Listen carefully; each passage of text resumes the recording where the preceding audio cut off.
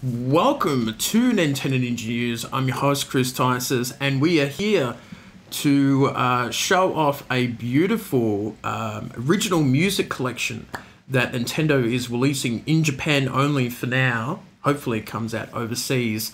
Of Skyward Sword that recently came out a, a little while ago, and this is what it looks like. It looks absolutely stunning. It is a five CD collection that has apparently all the songs 187 songs uh, for the first time in a whole bundle collection that you can get.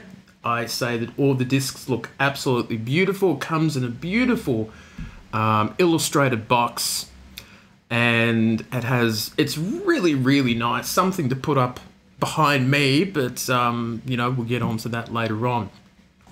But um, there is also a limited edition that comes, and this is the limited edition, obviously, that comes with a music box, which is very very beautiful.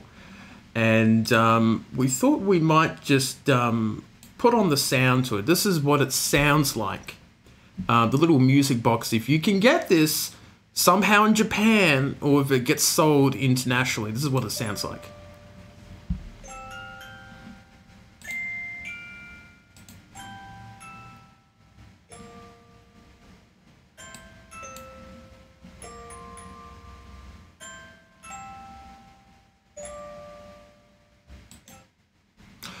So that was nice. You may have not been able to hear that that much, but um, I'll put it up as an actual um, separate little video uh, for that. But I think it looks fantastic. I think um, it's a great little purchase for Legend of Zelda fans, and it will cost about for Australian people, for the Aussies, it will be about 110 bucks if you can um, go off and grab that. That's the limited limited edition, and the standard one um, will be about seventy bucks. So give or take the exchange price, you know, it goes up and down uh, by the day and the night. But um, I think it looks really, really nice by the look of it. So, um, yes, the Legend of Zelda Skyward Sword um, little music collection. I think it looks really cool. Uh, there's no quite word on it when it comes out, but it should be um, coming out pretty soon. I'm just going to click on a link here. And um, it's all in Japanese.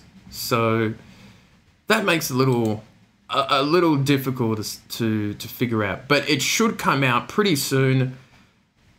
Um, oh, okay. It's going to come out November the 23rd, uh, 2021. So that's the 10th anniversary when it came out on the Wii. And that's also the anniversary date, I believe, of Skyrim and Super Mario 3D Land, if I remember back 10 years ago. So, um, very, very cool to, to see that. So, excellent to see. But um, let me go. Let me know what you guys think, guys and girls, think of this music collection. Would you pick it up if it was available overseas, or do you have someone in Japan who's a good friend of yours? All right, that's it for me, and I shall see you next time.